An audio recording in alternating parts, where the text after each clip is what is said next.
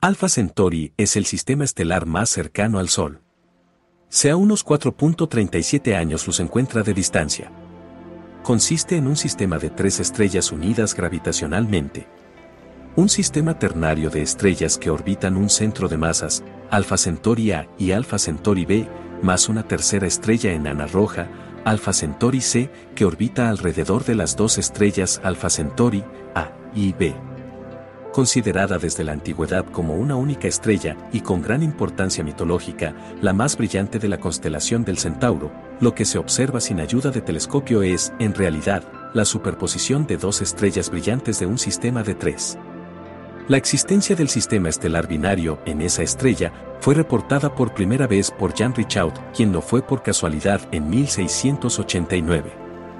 En 1752 el astrónomo francés Nicolas Louis de Lecal realizó la primera medida de la distancia entre ambas estrellas.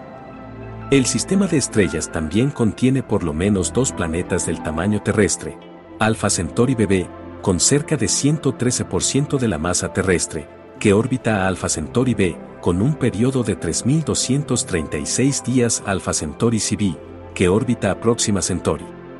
Este último orbitando a una distancia de 6 millones de kilómetros de la estrella, Alpha Centauri es una estrella amarilla muy similar al Sol y Alpha Centauri B es una estrella naranja de tipo K, ambas giran entre sí en una órbita de unos 80 años.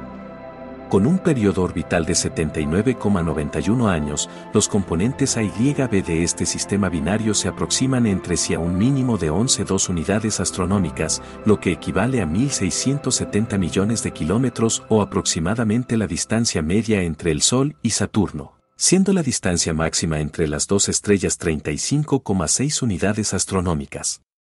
Como tienen masas parecidas, se mueven alrededor de un punto del espacio. La tercera estrella es Próxima Centauri, que giraría alrededor de las dos anteriores a una distancia mucho mayor en una gran órbita.